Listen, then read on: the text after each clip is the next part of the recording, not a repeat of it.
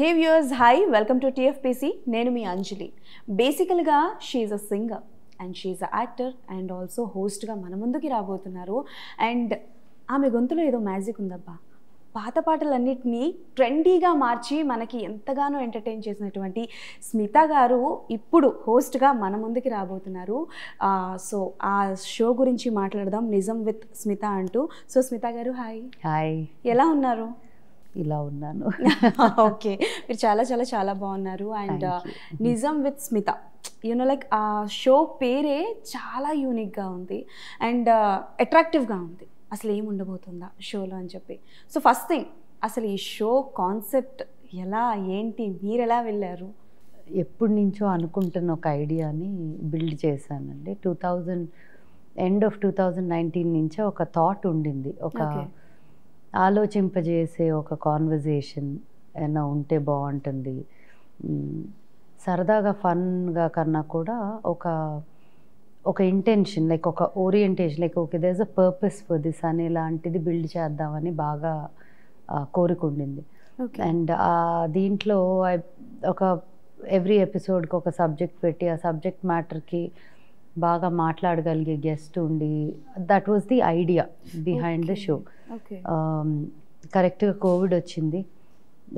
Shoot చేద్దాం అనుకున్న ఒక వన్ వీక్ ముందే జస్ట్ కోవిడ్. అనేది స్టార్ట్ అయ్యి లాక్డౌన్ పెట్టేశారు. So I said okay let us give it a break ప్రతిదీ మంచికే జరుగుతుంది అనుకుంటాం కదా. అలాగే ఆ బ్రేక్ అవ్వటము ఆ బ్రేక్ టైంలో సోనీ ప్లాట్ఫామ్ అనేది తెలుగులోకి రావటము ఓకే. ఆ ప్రపోజల్ నేను వాళ్ళకి పంపటము. వాళ్ళకి నచ్చి టీం అంతా నేషనల్ టీం అంతాతో పాటు కలిపి మీట్ అయ్యి అది ఓకే అవ్వటము. అక్కడి నుంచి ఐ థింక్ అలా జర్నీ స్టార్ట్ అయింది. స్టార్ట్ అయింది. అలా స్టార్ట్ అయింది. It's been one year like since we started the దిట్ with Sony only that whole. Engagement sign off అయ్యి వన్ ఇయర్ అవుతుంది. సూపర్. యా సో మేము షూట్ చేసిన ఎపిసోడ్స్ కూడా అన్నీ మే మంత్లోనే అయిపోయినాయి almost. Between end of April May and జూన్లో close చేసేసాం. ఓకే. ప్రిటీ మచ్ సో అలా స్టార్ట్ అయ్యారు. అంటే ప్రోమో చూసాను క్వశ్చనరీ వాజ్ వెరీ యూనిక్ అంటే బేసికల్గా ఇలాంటి షోస్లో క్వశ్చనరీ అన్నప్పుడు మనం ఏమనుకుంటాం అంటే వేరే వాళ్ళు అంటే జనరలీ ఆడియన్స్ ఏమనుకుంటారంటే ఓకే మేనేజ్మెంట్ ఏదైనా ఇచ్చారేమో ఇంకెవరైనా ప్రిపేర్ చేశారేమో అని అనుకుంటారు. కానీ మీ విషయానికి వచ్చేసరికి మీరే ప్రిపేర్ చేశారా? చాలా వరకు. అంటే ఐడియా అంటే ఈ టాపిక్ బేస్ మీద మాట్లాడాలి అనుకున్నప్పుడు ఆ టాపిక్కి ఏ గెస్ట్ సో ఆ గెస్ట్కి లింక్ ఎలా చేయాలి ఆ టాపిక్ని బికాజ్ ఆ గెస్ట్తో లింక్ అవుతా ఆ టాపిక్లోకి రావాలి. From their life into that subject through from their perspective అంటే నేను ఈరోజు మైండ్ సెట్ అనేది ఏదో ఒకరోజు సడన్గా it comes from somewhere right అది డ్రైవ్ చేస్తా ఆ పాయింట్ని deep into the topic dive చేసి అక్కడి నుంచి విషయాలు తెలుసుకొని it's more conversation which will make you think. Lot నవ్విస్తుంది ఏడిపిస్తుంది. ఆలోచింపజేస్తుంది. అదే చెప్తున్నా. It has everything in it it's a platter of అన్ని ఆల్ కైండ్స్ ఆఫ్ టేస్ట్ చూస్తారు మీరు. షోలో. సో జనరలీ ఒక ఇంటర్వ్యూ అంటే either fun or else controversy పక్కాగా ఉంటుంది? రెండు కాదు. సో ఈ రెండు ఉండవు. రెండు ఫన్గా లేకుండా ఉండదు. బికాజ్ ఆటోమేటిక్లీ మన లైఫ్లో నుంచి కాన్వర్జేషన్స్లోనే ఫన్ ఉంటుంది. డెఫినెట్లీ. యా సో అన్లెస్ చాలా స్టిఫ్ పీపుల్ మాట్లాడరు అనేవాళ్ళు. అట్లాంటి వాళ్ళు ఎవరు లేరు first of all on the show so fun అనేది is a natural part of the show but అది ఫన్ చేయాలి అనే ఉద్దేశంతో పెట్టిన ఏం కాదు. న్యాచురల్గా వస్తే ఎలా ఉంటుంది? అదేదో కామెడీ ఫోర్స్ఫుల్గా పెట్టడానికేనో న్యాచురల్గా మాటల్లో వచ్చేదానికి డిఫరెన్స్ లాగా. It is part of the episodes but there is a lot of emotion there is a lot of depth there is a lot of inspirational stuff so అట్లా మెనీ ఆస్పెక్ట్స్ ఉన్నాయి. So ఎన్నో రకమైన experiences అయితే చేశారు మీరు. So మేము ప్రోమోలో చూసింది ఏంటంటే చిరంజీవి గారు చంద్రబాబు నాయుడు గారు రానా గారు నాని గారు ఇలా చాలామంది వచ్చారు కదా. So what was that episode మీరు ఇప్పటివరకు షూట్ చేసిన దాంట్లో అంటే మీకు బాగా హార్ట్ టచ్ అయ్యి మీరు బాగా ఇన్వాల్వ్ అయిన frankly speaking every episode is very unique okay topic వల్ల. ఆ, నేను ఇది ఇది అని చెప్పటానికి ఇప్పుడు దాకా నాకు ఒకటి పాయింట్అవుట్ నేను చేయలేకపోయా. మా పీసీఆర్ఓలో మా టీమో కెమెరా టీమో లేకపోతే ఆన్లైన్ ఎడిట్ టీమో లేకపోతే షూట్లో ఉన్న టీమో చెప్పగలిగారేమో కానీ పది ఎపిసోడ్లలో ఉన్నవాళ్ళు నేను ఫ్రాంక్గా ఇప్పుడు దాకా చెప్పలేకపోయాను. బికాస్ ప్రతి ఎపిసోడ్ షూట్కి ఇట్లా అవ్వటము ఇది ఇందాకటిది కొట్టింది ఈ ఎపిసోడ్ ప్రీవియస్ దాంది కొట్టింది ఎపిసోడ్. అబ్బా ఇది దిస్ బీట్ దట్ అట్లా నేను అనుకుంటానే వచ్చా లోపల కానీ ఏది ఇది నా ఫేవరెట్ అంటానికి లేదు. బికాజ్ ఎవ్రీథింగ్ నుంచి ఒకటి తీసుకోవడానికి there is uniqueness in every episode okay because of topic ఇప్పుడు చిరంజీవి గారిది వాళ్ళ నైట్ రిలీజ్ అవుతుంది ట్వెల్వ్కి ద టాపిక్ ఇస్ కష్టే ఫలే. అంటే అప్వర్డ్ మొబిలిటీ ఒక శివశంకర్ వరప్రసాద్ నుంచి ఒక చిరంజీవి నుంచి ఒక మెగాస్టార్ అయ్యే జర్నీ దానిలో ఉన్న కష్టాలు. దాన్ని ఎలా ఫేస్ చేసి స్ట్రాంగ్గా హోల్డ్ ఎలా చేయగలిగారు? అండ్ దాన్ని దాని నుంచి నేర్చుకున్నవి మనతో షేర్ చేసుకున్నారు actually so that. Was mostly the topic of his episode okay Chandrababu Naidu గారి ఎపిసోడ్ వాజ్ అభివృద్ధ ఆకర్షణ development versus populism okay welfare స్కీమ్సా డెవలప్మెంటా అనేది వాజ్ హిస్ టాపిక్ సో మొదలు ఎక్కడో పెట్టి దాంట్లోకి వెళ్ళి కంక్లూడ్ చేసిన లాంటి ఒక థీమ్ రాణా అండ్ నాని ఉన్నది నెపోటిజం నెపోటిజం ఎస్ సో అందరు మాట్లాడుకుంటారు వీళ్ళు వీళ్ళ కొడుకు కాబట్టి వాళ్ళ కూతురు కాడ దాని వెనకున్న ఆ లోపల ఉన్న వాళ్ళు ఇద్దరు మాట్లాడుకునేది అది. రైట్? అలాగా జయప్రకాష్ నారాయణ గారు అండ్ రామ్ మాధవ్ గారితో కలిపి రిలీజియన్ మీద ఒక ఎపిసోడ్ చేసాం రిలీజియన్ అండ్ సొసైటీ. అంటే ఒక మతాన్ని ఎలా society impact of religion and division అనే దాని మీద. సిమిలర్లీ స్పోర్ట్స్ చక్దే ఇండియా అని స్పోర్ట్స్ మీద పులెల్ గోపీచంద్ గారు అండ్ సుధీర్ సో ఆ కాంబినేషన్ ఏంటి అని చాలామందికి అర్థం కాకపోవచ్చు బికాజ్ ఇట్స్ ఊహించరు. ఇదేంటి ఒక యాక్టరు వైజ్ చక్దే ఇండియాకి దీనికి సంబంధం ఏంటని. ఆ ఎపిసోడ్ చూస్తే అర్థం అవుతుంది ఆ connection very interesting combination actually.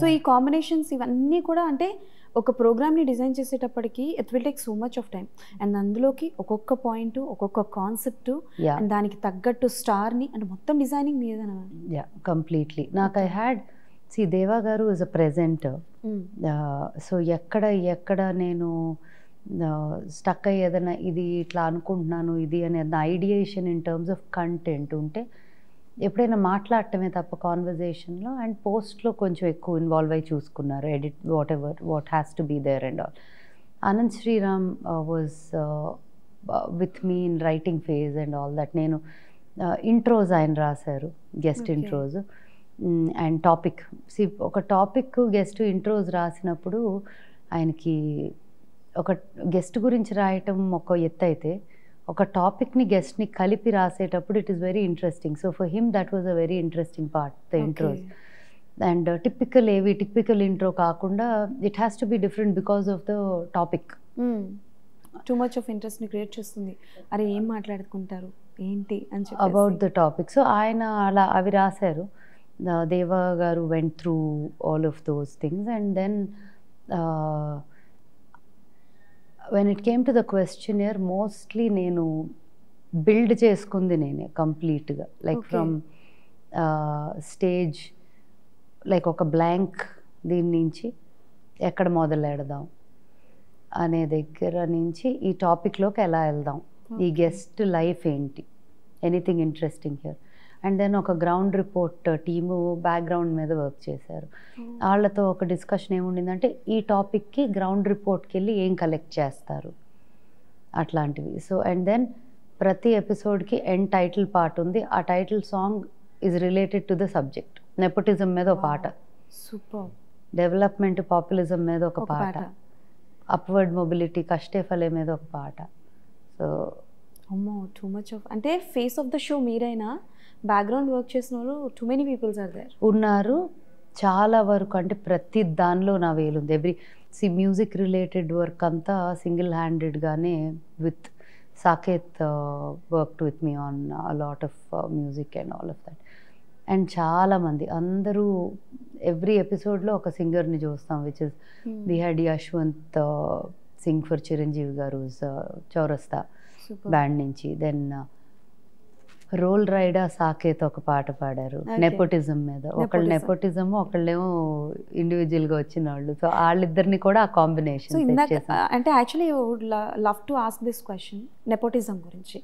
So nepotism గురించి ప్రోమోలో నాని గారు మాట్లాడుతున్నప్పుడు రామ్ చరణ్ గారిది ఒక ఒక సెంటెన్స్ అయితే ఆయన చెప్పారు. రామ్ చరణ్ గారి మూవీ రిలీజ్ అయ్యి ఇంతమంది చూశారు. సో అంటే నెపోటిజంని ఎంకరేజ్ చేస్తున్నట్టు కదా అని. చేసేది ఆడియన్స్ కదా అదే చేసేది ఆడియన్స్ కదా అని చెప్పేసి మేబీ ఇది ఫ్యాన్స్ వార్ క్రియేట్ చేయొచ్చు సంథింగ్ ఏదైనా అవ్వచ్చు. సో అంటే చూసుకుంటే ఇప్పుడు చిర మన నాని గారు కూడా బ్యాక్ టు బ్యాక్ హిట్స్ తెచ్చుకున్నారు. సెవెన్ మూవీస్ కంటిన్యూస్గా ఆయన హిట్సే వచ్చాయి. సో మరి నెపోటిజం మీద ఆయన ఇలాంటి స్టేట్మెంట్ ఇవ్వడం? అది కాంట్రవర్సీ ఏముంది? నిజమే కదా. దాంట్లో తప్పే ఉంది. అదేమి తప్పని కూడా తను అనలా. అంటే ఏదో ఇండస్ట్రీలో ఏదో జరిగిపోతుంది అనుకుంటున్నారు కాదు అది ఆడియన్సే కదా చేసేది దాంట్లో తప్పే ఉంది మీరేగా చేస్తుంది అని. Okay. So he didn't say anything wrong okay. So ఉన్నదే చెప్పారు అని ఉన్నదే మాట్లాడారు. And. Then in front of Rana Rana was right there okay. So if there is a problem it is an argument there but అది it's a fact okay. ఫ్యాక్ట్ని మనం controversy చేయాల్సిన అవసరం ఏముంది? ఓకే. అప్ టు మీ వరకు వస్తే nepotism మీద మీరేం చెప్పాలనుకుంటున్నారు? ఒకటే చెప్తా. ఇప్పుడు ఒక ఇప్పుడు మా పేరెంట్స్ స్టార్ట్ చేసిన వ్యాపారాలే ఉన్నాయి అనుకోండి నేను చేయను అని చెప్పి మూసేయాలా? లేకపోతే వాటిని ముందుకు తీసుకెళ్ళాలా? యాజ్ అ డాక్టర్ తీసుకెళ్ళాలి. That's exactly what it is for any field అంతే కదా? ఓకే లేకపోతే in fact Rana said some really good things in this aspect about it బిజినెస్లు వాటికి అన్నీ అన్నప్పుడు ఇది నా ఒపీనియన్. బిజినెస్లు వాటికి వీటికి ఏమీ ప్రాబ్లం లేనప్పుడు వేరే వాటికి ఎందుకు ఉండాలి? ఒక ఆర్ట్ ఫీల్డ్లోకి. నచ్చకపోతే చూడొద్దు. So if you don't want to see them if you don't like them don't see it but why are you putting the blame on to the. Industry అనేది? Which is true I think so definitely అంటే చాలా వరకు ఈ nepotism గురించి కొత్త వాళ్ళు రావడానికి కూడా కొంత భయపడుతుంటారు. ఐ హోప్ ఈ ఎపిసోడ్ రిలీజ్ అయిన తర్వాత కొంత క్లారిటీ అన్నది వస్తుంది. యాక్చువల్లీ చిరంజీవి గారి ఎపిసోడ్ రిలీజ్ అయ్యాక కూడా ఆ. క్లారిటీ రావచ్చు. బికాస్ ఆయన కూడా ఏమీ బ్యాక్గ్రౌండ్ లేకుండా వచ్చి ఆయన ఒక పెద్ద చెట్టు like he's huge now and so many ఆయన కింద వచ్చిన ఎన్నో మొలకలు like so many of artist. So ఆయన చెప్పిన దాన్ని బట్టి కూడా చాలా క్లారిటీ వస్తుంది. అవునా? యా ఇదే సబ్జెక్ట్ మీద. ఓకే సో ఒక్కొక్క సబ్జెక్ట్ ఎంచుకోవడానికి అంటే ఒక కాన్సెప్ట్ ఇప్పుడు నెపోటిజం కావచ్చు కస్టేఫ్ అలీ కావచ్చు. నెపోటిజం వరకు ఓకే మీరు చెప్పారు. ఈ కస్టేఫ్ అలీ అన్నది స్మిత గారి లైఫ్లో ఎంతవరకు కనెక్ట్ అయింది ఈ ఈ కాన్సెప్ట్? ప్రతి ఒక్కళ్ళ లైఫ్లో ఉంటుంది. దాన్ని ఒక్కొక్క లెవెల్లో అట్ డిఫరెంట్ లెవెల్స్ డిఫరెంట్ పీపుల్కి ఎక్స్పీరియన్సెస్ ఉంటాయి. ఒక రకంగా అంటే నాకు ఒక అదృష్టం ఏమని చెప్పొచ్చు అంటే ఐ డిడ్ నాట్ నా డిపెండెన్సీ ఆన్ మై ఒక కెరియర్ ఏమైనా పాత ఎంచుకున్నప్పుడు డూ ఆర్ డై ఇది ఒక్కటే నేను చేసేది అనుకోకుండా I always had eggs in different baskets. Okay. I was an entrepreneur I did my business. ఆ బిజినెస్లో కూడా మూడు నాలుగు డిఫరెంట్ ఆస్పెక్ట్స్ ఆఫ్ బిజినెస్ చేశాను చేస్తున్నాను. అలా music is a very passionate thing. దాన్ని ప్రొఫెషన్గా కన్వర్ట్ అయింది ఫార్చునేట్లీ అండ్ అదొకటి ఉంది అలా ఇప్పుడు ఇది I taken this up this is an other way line completely so అలా చూసుకుంటే మన నేను ఇది ఒక్కటే అనుకొని వెళ్ళలేదు కాబట్టి మేబీ నాకు అంత హా హార్డ్షిప్స్గా నేను ఏది ఫీల్ అయ్యేదాకా కూడా తెచ్చుకోలేదు. ఓకే బట్ ప్రతి ఒక్కళ్ళ లైఫ్లో ఉంటే నాకు కూడా హండ్రెడ్ పర్సెంట్ రాగానే ఎవరు రెడ్ కార్పెట్ వేసి రామ్మ పాడు అనరు. You go through your own journey every one goes through their own journey so maybe ఇనీషియల్గా నాకు అయిన ఎక్స్పీరియన్సెస్ వల్ల ఓకే నాకు ఇది కంఫర్టబులా కాదా అనుకొని ఏది చేస్తే నాకు కంఫర్టబుల్ ఏది కాదు అనుకొని మేబీ అలా డిజైన్ చేసుకోగలిగానేమో. సో కొంత ప్లేబ్యాక్ కొంత నా ఓన్ మ్యూజిక్ వీడియోస్ కొంత బిజినెసెస్ కొంత నచ్చిన ప్యాషనెట్ ప్రాజెక్ట్స్ కొన్ని. అన్ని నడుపుకోగలిగానేమో ప్యారలల్గా అనిపిస్తుంది but definitely everybody's life has lessons that we learn from super. And అంటే మీ విషయానికి వస్తే ఇప్పుడు ప్రాజెక్ట్స్ గురించి వచ్చి ఆల్బమ్ సాంగ్స్ అసలు మీరు ఆ- కాన్సెప్ట్స్ ఒక్కొక్క సాంగ్ ఎంచుకోవడం అప్పట్లోనే ఎవరైనా మీకు సజెస్ట్ చేసేవారా? కొత్తలో డెఫినెట్గా అమ్మ వాళ్ళ ఇన్వాల్వ్మెంట్ ఉండేది బికాజ్ నేను I was sixteen seventeen when I first started so ఆ Hmm. టైంలో మన ఫ్యామిలీ నుంచి ఒక ఇన్పుట్ సజెషన్ ఏదో లేకుండా ముందుకు వెళ్ళటం చాలా కష్టం. Okay. But I think from the time I was twenty four twenty five నేను I started making my own decisions. But albums చేయాలి అనేది డాడీ ఐడియా అమ్మ కష్టం. ఒక రీమిక్స్ చేద్దాం అనేది అమ్మ ఐడియా. అక్కడి నుంచి నేను I started doing whatever. What was the first song that Tyra- ఓన్గా ఆహా, మీ. ఓన్గా ఈ సాంగ్ని నేను రీమేక్ చేద్దామని అనుకున్నది. What was the first Sannajaji Padaka. That was my favourite song ఈ ఆల్బమ్ మొత్తంలో. ఎందుకో తెలియదు ఆ సాంగ్ నేను బాగా కనెక్ట్ అయ్యాను. వాస్ వెరీ నైస్ చాలా ఇష్టమైన ద పాట as I was growing up also. నా చిన్నప్పటి నుంచి ఇష్టమైన పాట. ఓకే. ఇప్పుడు మస్క మస్క ఇవన్నీ నేను పుట్టలేదు కూడా ఆ- ఆ పాటలు వచ్చినప్పుడు. Okay.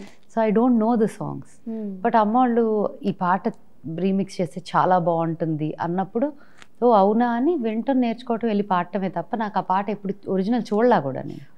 యాక్చువల్లీ ఇప్పుడు దాకా చూసానో లేదో కూడా నాకు వరకు కూడా?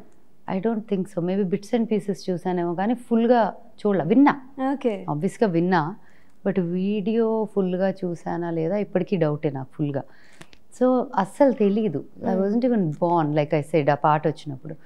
సో అది చెప్తే అవునా? ఐ ట్రస్టెడ్ హర్ దట్ వాళ్ళకి తెలుసు. వాళ్ళ జనరేషన్ అప్పుడు ఏం పాటలు వేర్ రీమిక్స్ ఇప్పుడు ట్రెండ్లో హిందీలో ఉన్నవి ఎట్లాంటివి తను దానికి కంపారిటివ్గా ఒకటి తీసుకుంది selection I trusted her and went forward with it దాంట్లో కొన్ని పాటలు నేను సజెషన్స్ ఇచ్చా. లైక్ మామ మామ పాట ఒకటి ఉండాలని. గోదావరి కట్టుంది కూడా ఉందా దాంట్లో? దాంట్లో లేదు. బట్ అన్ అదర్ భలే? భలే భలే అది వేరే ఆల్బమ్ భలే భలే మొగాడి పోయి చెప్పా. మాయదారి చిన్నోడు. అది తెలుసు. ఎందుకంటే నేను పాడుతా తీగలు పాడేటప్పుడు నా కాంపిటీటర్స్ చాలా మంది ఆ పాట పాడేవారు. బాగుంది అనుకునేదాన్ని. సో మేబీ దట్ సాంగ్ అని అట్లా చెప్పానే తప్ప ఇప్పటికీ ఆ సాంగ్స్ విజువల్సే చూడలే నేను. ఇప్పటికీ కూడా. గాడ్ ఇప్పుడు చెప్తా అంటే నాకే అనిపిస్తుంది. Wow I really didn't see them ఇప్పుడు ఫోన్ ఆన్ చేసి నిజంగా చూడలే. మీరు చూడలేదన్నా it's really unbelievable at least ఆ ఆల్బమ్ వరకు. ఇంకా తర్వాత సన్నజాజికి వచ్చేసరికి ఇంకా నా జనరేషన్. టైప్ ఆఫ్ సాంగ్స్ అంటే నేను పుట్టి కొంచెం సినిమాలు చూడటం మొదలెట్టాక వచ్చిన సినిమాలే కాబట్టి నాకు. తెలిసిన పాటలు. చూసినవి. బీట్ గీతాంజలి కానీ ఇది కానీ దట్ వాజ్ నైస్ ఎలాగో సాంగ్స్ గురించి మాట్లాడుకున్నాం కాబట్టి రీస్ రీసెంట్గా మనకి ఆస్కర్ వచ్చింది ఒక సాంగ్కి లైక్ నాటు నాటు సాంగ్ సో దాని గురించి జూనియర్ ఎన్టీఆర్ గారి గురించి రామ్ చరణ్ గారి గురించి. ఐ థింక్ అసలు ఒక గాలిలో డాన్స్ చేసినట్టే అనిపించింది. అండ్ అంత పర్ఫెక్ట్ అలైన్మెంట్లో అసలు ఎలా కుదురుతుంది అనిపించింది. చూసినప్పుడే విజువల్ జా డ్రాప్ అనొచ్చు the way they. Danced super so Nijam with స్మితాలో వాళ్ళని మేము ఎక్స్పెక్ట్ చేయొచ్చా? జూనియర్ ఎన్టీఆర్ గారిని ఫాదర్స్ మామయ్యలు వచ్చేసారు కదా. పెద్దవారితో మొదలెడదాం. ఇక మొదలెడదాం అని అంటే సీజన్ టూ తెలీదండి. Not at planned anything. But I don't know but అదే చెప్తున్నాగా పెద్దవారికి మర్యాద ఇచ్చి వారితో ముందు పెద్దవాళ్ళందరితో మొదలు పెట్టి ఆ తర్వాత ఉండొచ్చు. మేము ఎక్స్పెక్ట్ చేయొచ్చు. Maybe Okay. But okay, it's not a cinema based show, it is a topic based show. So okay. It also ఒక టాపిక్ కూడా ఒక సబ్జెక్ట్ కూడా ఫిట్ అవ్వాలి అనేది ఇంపార్టెంట్ బికాస్ ద కాన్సెప్ట్ అటువంటిది కాబట్టి. అండ్ స్మిత గారు మీరు ఆల్రెడీ యాక్టింగ్ కూడా చేశారు.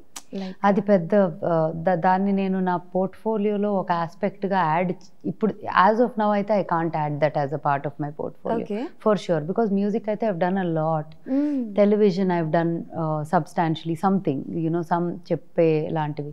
Businesses obviously that's my main bread and butter and what I do so that పక్కన పెట్టవచ్చు ప్రస్తుతానికి. అదేనా ముందు సంథింగ్ వెరీ ఎక్సైటింగ్ ఉందంటే అప్పుడు మాట్లాడొచ్చు దాని గురించి. ఓకే అంటే ఇంట్రెస్ట్ ఉందా ఇలాంటి కైండ్ ఆఫ్ ఏ- ఏది? సి లైక్ ఐ సెడ్ కదా I never say never to anything because you never know కదా. దేనిలో నుంచి ఏముంటుందో. ఇది చేస్తానని నేను ఊహించి ఉండను. But then one day I woke up and set చేయాలి. హూ నోస్ ఓకే సో ఒకవేళ యాక్టింగ్ చేసే ఒకవేళ థాట్ మీకు వచ్చింది అని అంటే what kind of a character you just love to do something that touches you deeply and impacts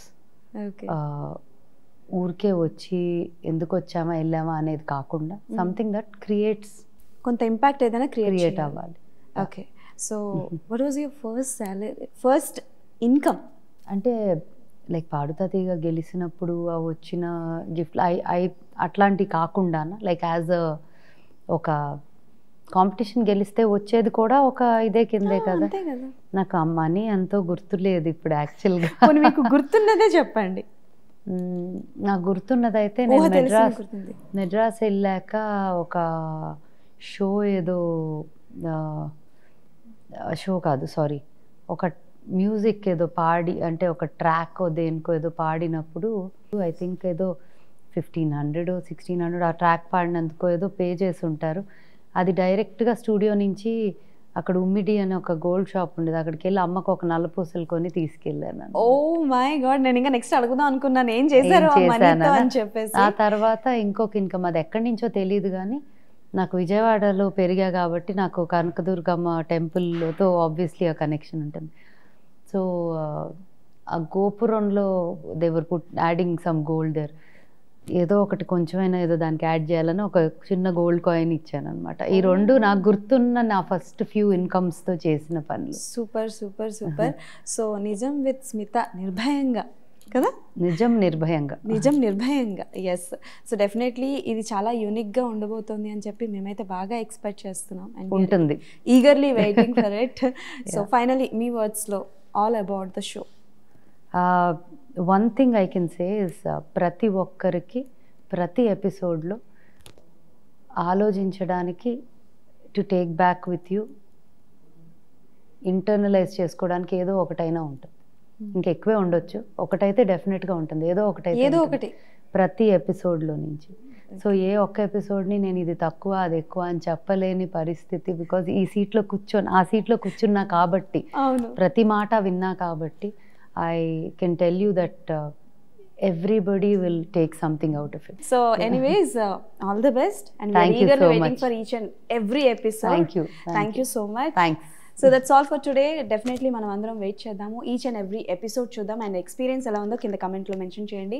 మళ్ళీ ఇంకో ఇంటర్వ్యూలో కలుసుకుందాం. అప్పటి వరకు టాటా బాబాయ్ సైనింగ్ ఆఫ్